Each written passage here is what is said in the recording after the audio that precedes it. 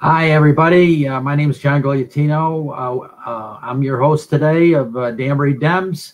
Um, with me today uh, in my home office and in his office uh, is Ken Gucker. He's the state representative for the 138th district. And um, uh, without further ado, let's bring him on. Uh, we're going to um, ask you, first of all, for people that are new uh, in the area, that tell us a little bit about yourself as the up to the point of uh, when you got elected to your office, the things you did before, uh, educational background, or whatever you want to tell us about that somebody new that doesn't know know you. go ahead. Well, I'm basically a life a lifelong resident of the Danbury area. I grew up in New Fairfield. I attended all of the New Fairfield schools, the high schools, the middle schools. Uh, still have family that reside there. And 28 years ago, I moved uh, to Danbury, uh, to my present location. I moved the whole uh, two and a half miles from my hometown in New Fairfield to the northern end of Danbury. Uh, but through my activism of being here in Danbury and realizing that um, we need more people to come together and really fight for our community, fight for environmental issues, fight for uh, responsible development, uh, and support for our schools, I became kind of a community activist, preserving lots of open space, preserving a lot of uh, areas that were not thought about before, and was asked to run for office. Um, I ran for state senate. I came extremely close uh, to winning that seat, and then was asked to run for state representative, uh, to where we flipped that seat 14 points to be the first Democrat, and I believe 36 years to, to hold that seat. Um, and that's where I've been for the last year and a half. Uh, I was working, uh, representing uh, the residents of the western end of Danbury, the southwestern end of Fairfield, the Ball Pond area, and the northwestern end of Ridgefield, basically uh, exit one, exit two off of 84. If you're like, if you're in New Jersey, they would say, what exit do you live on? That's how I kind of said Ridgefield, anywhere from exit one and two to uh, George Washington Highway. Yeah, very good. Uh, now, you gave a, a report on last year, so we won't repeat that so much, but uh, uh, maybe between uh, the tail end of last year and uh, going through um, uh, the virus, what what's uh, what's been going on? You know, any any anything of great interest? Do you think to voters out there that, that happened during this period from January through the virus period, as I call it, to, to currently? Because you got new things coming up, and we're going to get into uh, some stuff that might be happening in the special session also. Well, what happened was we we in Connecticut uh, in Danbury were actually the first case of COVID nineteen, uh, and I remember uh, we were up in Hartford at a, at a session uh, to where we got the, the Danbury delegation and myself got the notification that the governor uh, and and everybody was coming down to to Danbury to City Hall to make this sad announcement that the very first uh, case of COVID 19 was now in the city of Danbury in Danbury Hospital. Now, it didn't, it didn't arrive in Danbury.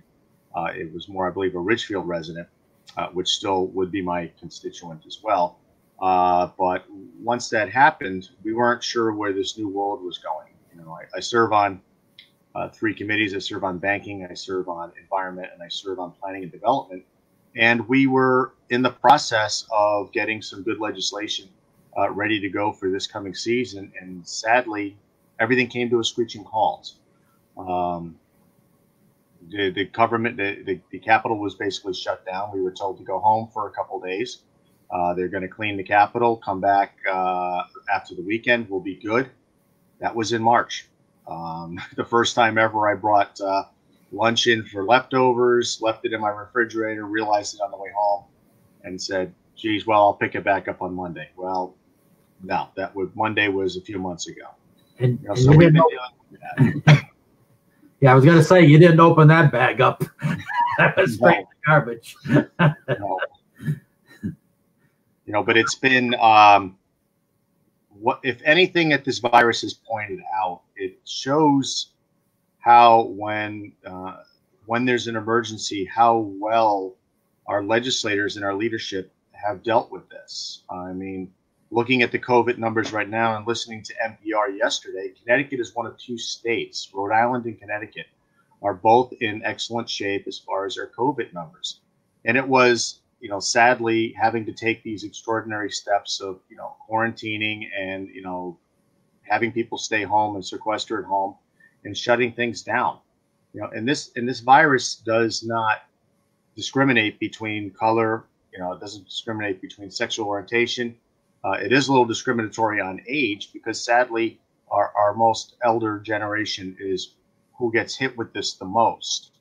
And we're finding that even though um, the younger generation feels they're invincible, which of course we all felt invincible uh, back in those years, they're bringing it home uh, to their families. So it's very important that we we stick to state of the course. We work together and look at the greater good uh, and how positive our results have been.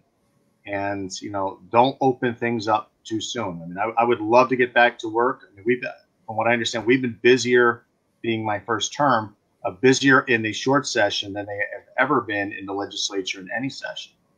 Uh, the second thing that is shown is this idea that has been perpetuated for many years that we need to keep cutting and cutting and cutting uh, our overhead, so to speak. Being a small business owner, I understand overhead um, in order to get our numbers on the bottom different, uh, better. But what we're finding out is things like our unemployment system that was never designed to take on as much, uh, as many people as it had to this time, was still from the 1980s. They're still running a uh, COBOL plant, uh, uh, plan of running. You know, they had to bring in people that retired in the in the 80s to come and run these programs. You know, so it's created a huge backlog with unemployment claims to where every single day I must deal with five or ten claims uh, from individuals that are having issues getting their, their unemployment. Right down to small businesses reaching out to us every day and saying, what can we or can we not do? We want to do this properly. We want to make sure we keep everybody safe. And so we've been more, rather than making new legislation to create new laws or new uh, funding measures for uh, our constituents, it's been moreover about how do we keep people safe, how we do more constituent services to ensure that everybody has the same information, accurate information, and things that will help them get through this crisis. Because, kind of like any other uh, any other thing that we've had in this country, where we've had to make great sacrifice, this is not unlike those situations. How are things? Uh, I understand that the COVID nineteen has been uh, pretty active among the fifty to fifty nine, aside from the nursing homes. And uh, how how have our nursing homes fared as opposed to other states like New York and New Jersey. Uh, I didn't hear as much about that as opposed to yeah, it hit our older people, uh, but a lot a lot of people don't know that there's been a lot of 50 to 59 uh, that have been hit also. I guess the people who were going back and forth to New York uh, were the ones that got hit. So uh, any any comments on on those scores my my specific thing I'm interested in is, is the nursing homes and how they how we did compared to the other states near us.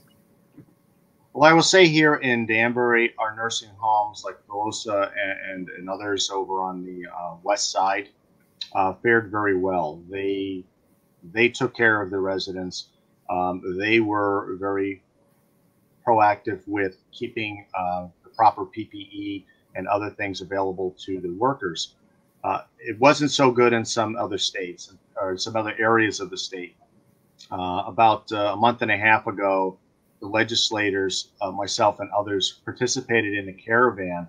Uh, we had three caravans one that started here in Danbury, one that started in Norwalk, Connecticut, one that started in London. And we all converged in Windsor, Connecticut. So we stopped, our, our caravan stopped at about seven or eight uh, different nursing homes to bring attention uh, to people and to the state that these nursing homes needed more support.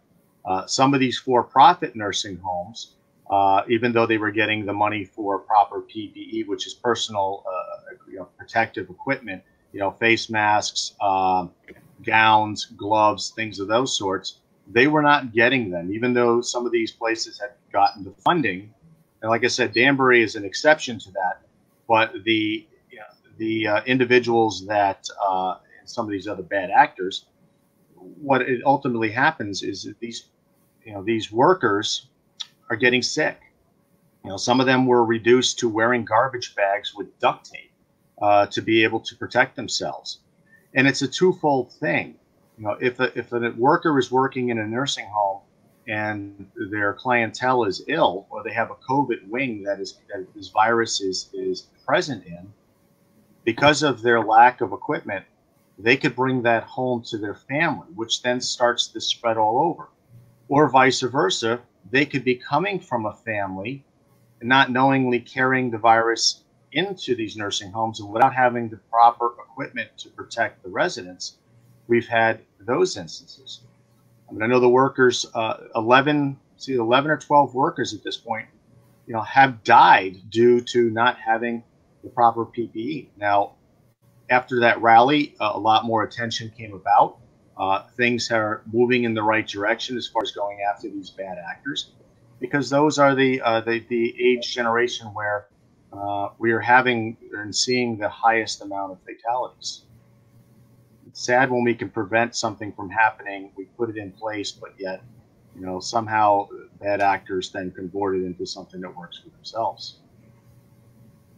Now, what uh, you, you you mentioned your committees? Did you do any committee work during this period? Because it can be done on camera, even though it's it's got to be done delicately.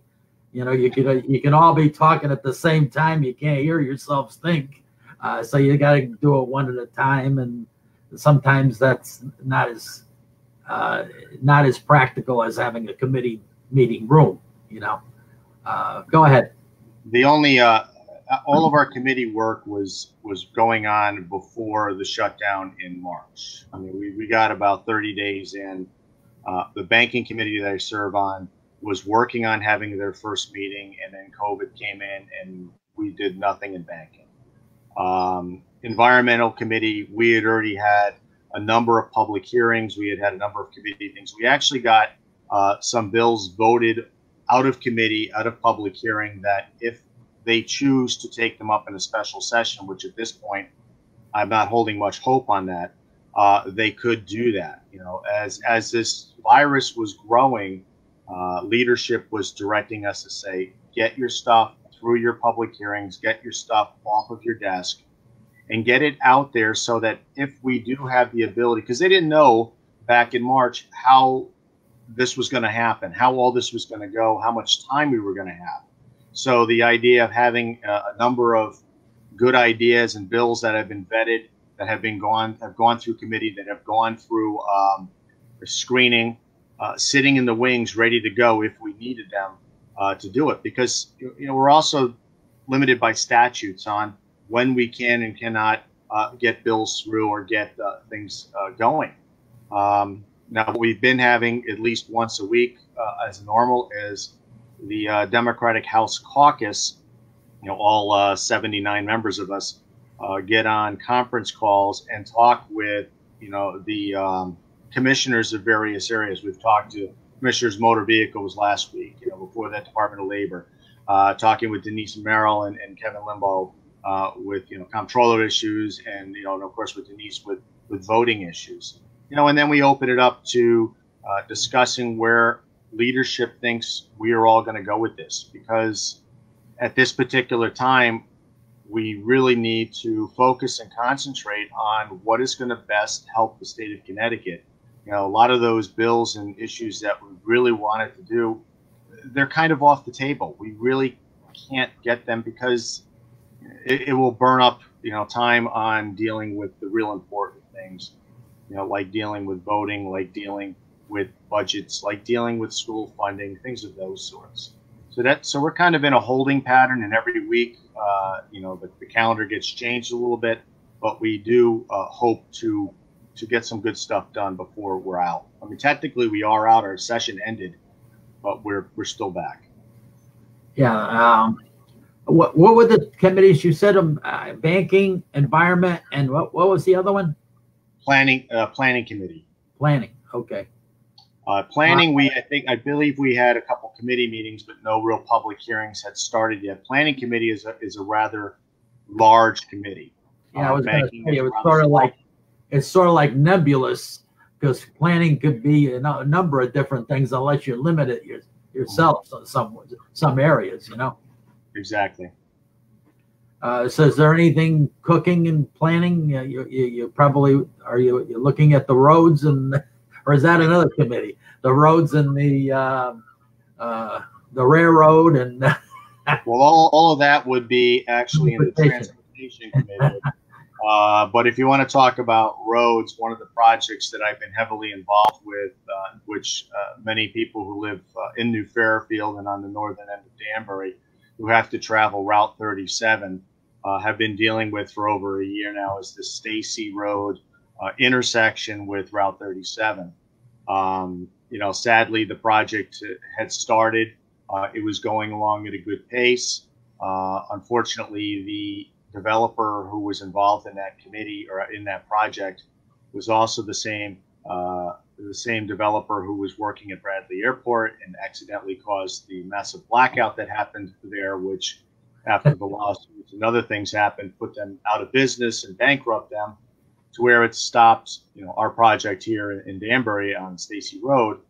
Uh, that project went dormant for about six, eight months because we had to wait for the bonding co- company that you know, was bonding this job to release the money to then hire a new developer to come in and finish the job. And that dealing with a bonding company and dealing with who they're choosing uh, has been quite difficult.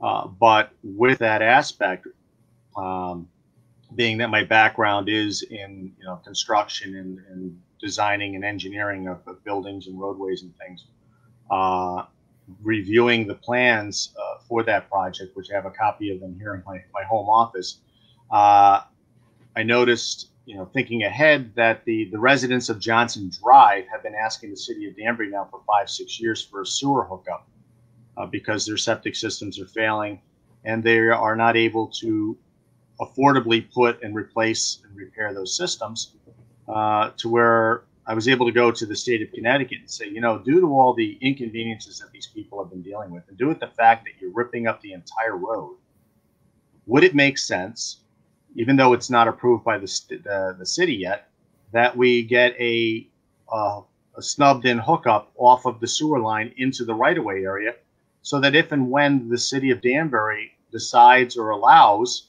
uh, to you know to get um, you know, to allow them to hook up, that it's already there. We don't rip up, you know, the road, you know, and uh, and, and, and undo what we've been waiting to be done for the last two years.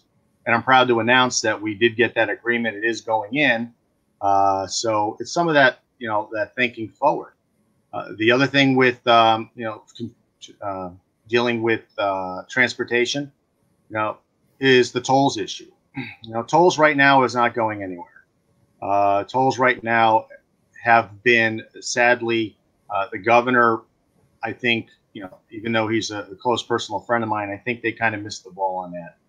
Uh, they kept changing the plan every 10 minutes, so we weren't sure what we were getting. I mean, originally it was truck tolls, then it was going to be everybody, then it was going to be back to truck tolls, then it was just going to be bridges, then it was going to be out of state vehicles going over bridges you know, and with all of that confusion and not knowing exactly what we're getting, it just fed information into the whole people. there there seemed to be some interest in yeah, let's those trucks are breaking up the road and and doing the truck thing. But then there's general talk even in in the the, the, the general citizenry, you know, as you go around and talk to people at different organizations or whatever, or or talk to them this way, I should say, uh, that uh, they, um, you know, unless it's just the tro- just uh, trucks, you know, you got that constitutional thing or the law, you can't really tax uh, that group only. Uh, then they then they're not in favor because now you're you're impeding the the tr- back and forth from the the mall to the the, the people in New York, and they're affecting too many other people uh, with the general traffic. What, What I Well, yeah. what I will say is, and you know, part of what people have been, you know, the, the haters I call them, you know, the governor said something during his State of the State address um, last year because we didn't get one this year because due to you know all that's been going on because uh, we really didn't have a formalized end of session you know, thing. It was the end of session was four people in the chamber with masks, you know, you know, five ten feet away from each other, and none of us were there for it. Um, but what with all of the the stuff that has been done in the state of Connecticut, the governor said one thing in the speech that really resonated, and I actually had bumper stickers made up and started giving them out it said, "Stop bad mouthing Connecticut." You know, we all have pride in this state. We all love this state. That's why we're still here. But constantly, there are individuals that just want to badmouth and point out negative instead of like working together and figure out how we can make things better. Now, that being said, there's they constantly talk about well how financially uh, bad we are uh, in this position. Connecticut is number seven out of 50 states right now to come out of the COVID 19 virus situation in great shape. We are being recognized throughout the entire country as far as how smart we were with this whole thing. The thing was, it was, it was not fun to go through it, but due to the preventative measures that were done, due to the holding back on the bonding and other things and the borrowing that the governor did uh, last year and beginning this year, our bond ratings are are great. Um, you know, when it comes down to transportation, uh, they sold out over $800 million worth of bonds in less than an hour on Wall Street. You know, know, I hear I hear people go, well, you know, then who pays back the bonds? Well, sadly, that's where the tolls would have come in. Now, I'm not in favor of the tolls, but I understand, you know, the, the reason why they would want them. Uh, you know, with the tolling situation, they originally were talking about a 60-40 split, uh, where 60% of it would have came from residents of Connecticut. 40% would have came from uh, out of state. Uh, then now we're bonding it. We're on the hook 100 percent. But that's what the that's what the people wanted. So that's what we get. You know, part of being the, the word state representative is representing your constituency. And my constituency is three to one against the idea of tolls. Even though if you were to sit down with a with a spreadsheet and look at the financial numbers, uh, you would definitely see why there would be a need to do some sort of plan dealing with transportation and costs. So, so the tolls are more of a longer run uh, thing, if if not currently they're dead, right? Mm-hmm. Is that a fair assessment? You know, there's so. not a, there's not enough there's not enough support for it right now. The other thing is what people fear the most is they're not sure, you know, if Plan X say is just trucks? Would it stay just trucks or would they expand it later on down the road? It's kind of like letting the horse out of the barn. Once the horse is out of the barn, you can't say which field it's going to stay in, even though you you know you may have fences up and may jump the fence. And that's part of the, the concerns that goes on with, with the tolling issue uh, from residents. It's even though if we allow this to happen, if we go forward with this, will it actually stay that way uh, in the future? You know, we can say yes, but then again, it also relies on who else, who's in power, who's doing, uh, who, who is actually making the numbers at that time. So I don't have a crystal ball. That would be the agreement. That's what I would hope would be the agreement and what they would stay with. But again, you know, I understand people's concerns. Now, an issue that might tie to that in the future uh, is that if the COVID 19 uh, situation uh, has done uh, serious damage to our, our budget or not compared to the other states. Like in New York and New Jersey, it's done tremendous damage. Uh, I'm, I'm thinking the way we've managed ourselves, maybe not so much damage. What do you have to say about uh, that, General? Uh, well, you're well, you're absolutely right, and that's why I was stating earlier that we're number seven out of fifty. I mean, Kevin Lembo was projecting that we were going to be about I believe, $647 million deficit in our budget. Now, de- any budget with a deficit isn't that hard to fix, especially with the amount of income that the state of Connecticut gets. But we have 3.3 billion in a rainy day fund. You know, and thank God we didn't go along with the. I hate to be partisan on this because I don't like to go us against them, but we didn't go with the Republican plan, which was to take half of the rainy day money, put it into transportation, and then bond the rest of us because we would be in serious trouble right now. We wouldn't have, you know, that that money sitting there in the rainy day fund. So given that, you know, we can turn around and, if necessary, uh, borrow from the rainy day fund, uh, that will help us, you know, and it's and having that amount of rainy day money sitting there uh, is what has given us those great bond ratings to be able to get a reasonable uh, low interest rate on bonds and sell out bonds for transportation. And this is the time to do it because the bonds, it's like it's like wild. The interest rates are low on on the bonds because of fear that maybe economic activity isn't going to be what it was getting to be for a while. So the it's a good time to actually borrow money if you need to borrow it. Absolutely. On the other hand, you could take the 347 or whatever, uh, the 647 rather. You could take that, pay it off out of the rainy day fund, and and slowly return the money back in in there, and and not have uh, much of a hit. And as we hope that as things open up and as businesses open up, that some of our revenue will come back in to help with those areas, you know. Um, so we want to open the state as soon as possible again, but we also want to ensure that everybody is safe. And if it's going to take a little bit longer to ensure that everybody's in a safe position, I'm all for that.